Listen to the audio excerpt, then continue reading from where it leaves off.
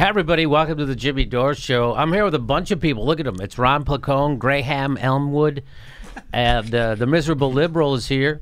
Jim Earl's here too, but you can't see him or hear him.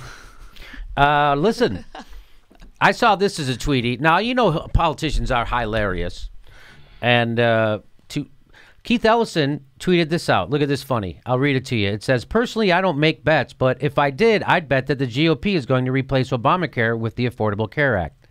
And that's kind of funny because those are the same thing. so I would say tip of the hat to uh, Keith Ellison for making a funsy. And then someone got a little carried away and said, uh, hey, I, I, I think a Democratic Congress comedy night would raise a crap ton of money for the DNC. And Keith said, that's a good idea. I like it. Mm, we all know the DNC is hurting for money too, Yeah. so that's a that's a great idea. I know. Uh, I'd love to see that DNC comedy night. Can you see the reviews? Man, Hillary bombed so hard you'd think it was the election of 2016. Am I right? Come on, everybody's complaining in the green room. Nobody wants to follow Bernie. yeah. Hey, we could just have a roast of the DNC, but it's important to respect the dead. That's what I say. Hey, where are my? Hey, uh, knock knock. Where are my progressives? We kicked you all out. I'm killing at this Democratic comedy night. killing. You guys have any? What would you think? Hillary bombed so hard she just voted to send herself to Iraq. Oh, damn! Every time a joke doesn't land, Peter Daou just calls the audience sexist.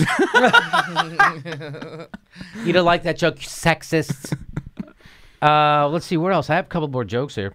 Hey, if Keith Ellison needs any jokes, he need look no further than Tom Perez. uh, John Kerry's nunchuck book bit seemed a little bit dated. These are the reviews, the pretend reviews of the Democratic Comedy Night. That's what this is.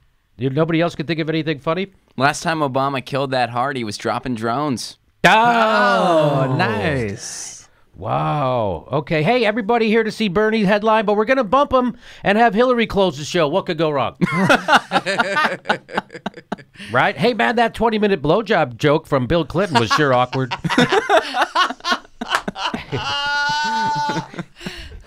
they brought out a cigar prop comic hack.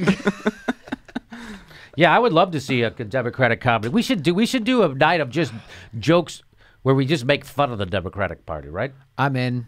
Uh, oh, be got somebody in, and maybe we'll get Peter Schiff to come out and uh, no, what's that guy's name? Who was, who's that Democrat? Adam, Adam Schiff. Thanks. Look at our. we'll have uh, Adam Schiff come out. We can make fun of it. You know, when Tucker Carlson can make you look bad, you know you're not doing. All right, uh, there you go.